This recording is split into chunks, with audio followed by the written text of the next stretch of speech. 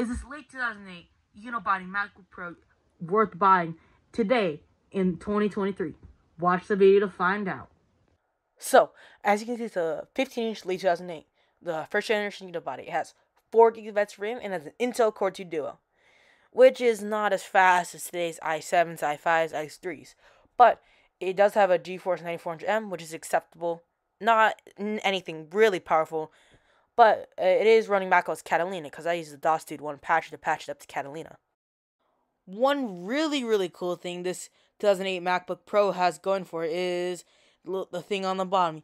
You may not notice it, but you may notice it if you've seen bottoms of MacBooks today. There's something on the bottom that's different, and it's a latch. As you can see, as I'm pulling it out, there's a battery. You can swap it out if it, your battery dies, like in the middle of the day, and you just need to swap it out. And also, you, you can see there's the hard drive. The hard drive is way easier to replace on these ones compared to the other ones. Because the other ones, you're going to have to take off everything.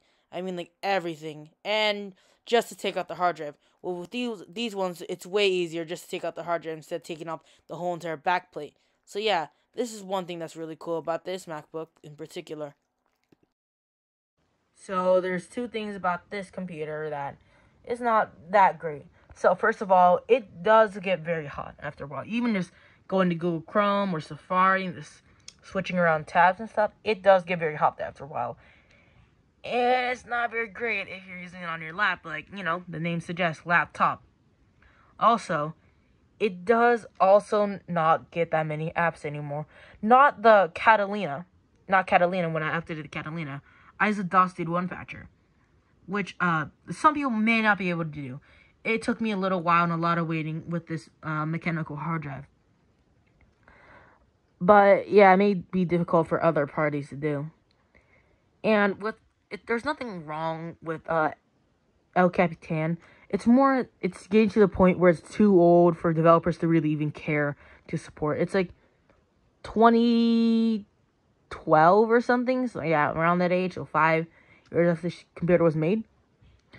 So yeah, personally, I would not recommend this machine. I would recommend you get a 2012 unibody or even uh, an older Retina because at least those support uh, what uh, this Catalina natively, and they will be way much faster. They have i7s, i5s, and they most likely have some type of better storage like 500 gigabytes. This one only has 300 gigabytes, which may not be good for users today.